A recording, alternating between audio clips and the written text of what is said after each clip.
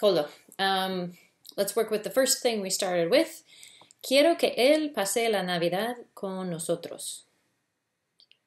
I want him to spend Christmas with us. I want him to spend Christmas with us. Okay, then we did several variations of, uh, of that. Let's see. Uh, mis clientes nunca quieren que suba los precios. My clients never want me to increase or raise the prices. My clients never want me to increase or raise the prices. And then the reverse, uh, siempre uh, quieren que baje los precios. They, in this case, we use they, they always want me to decrease the prices. They always want me to decrease, or we could say reduce the prices. Figures with numbers, right? Reduce, uh, decrease, lower prices. And on the opposite end, raise, increase, whatever else. Okay, prices.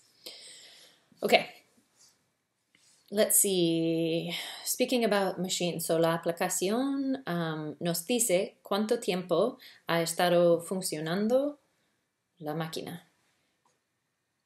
The application tells us how long the machine has been working or running. The application tells us how long the machine has been working or how long it has been running, running and working. Okay. Okay, and then at the end we asked about um, siempre que o mientras que. So terminamos a tiempo, um, mientras que nada nos impide, maybe. So we will finish on time as long as nothing stops us, as long as nothing uh, gets in the way. We didn't talk about that phrase, but we're talking about as long as.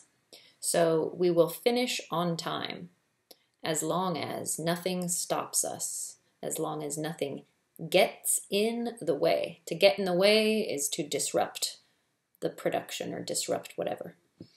Okay. I think that's good. Um, we oh at the very end we said to uh, creo que sí.